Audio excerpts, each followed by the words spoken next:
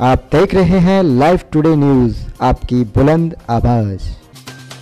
आज भारतीय अति पिछड़ा वर्ग संघर्ष मोर्चा के टाउन हॉल के सामने कार्यालय पर अति पिछड़ा समाज के दर्जनों लोग आज मोर्चा में शामिल हुए, जिसकी घोषणा मोर्चा के राष्ट्रीय अध्यक्ष मोहन प्रजापति की संतुष्टि पर महिला मोर्चा की प्रदेश अध्यक्ष कृष्णा प्रजापति व मंडल उपाध्यक्ष अजय सैनी ने की।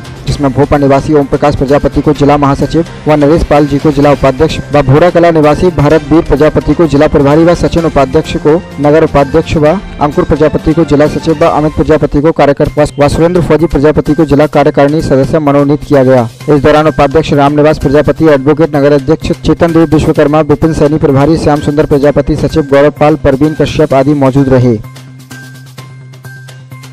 आज भारतीय अति पिछड़ा संघर्ष मोर्चा के जो हमारे राष्ट्रीय अध्यक्ष हैं, मोहन प्रजापति जी, सभा का आयोजन किया।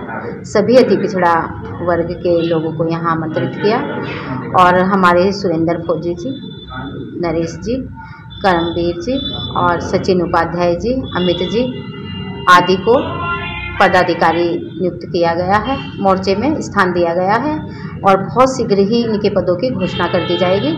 आशा की जाती है कि जितने भी हमारे नवनियुक्त आज के पदाधिकारी हैं, ये मोर्चे को आगे बढ़ाने का और मज़बूत करने का कार्य करेंगे।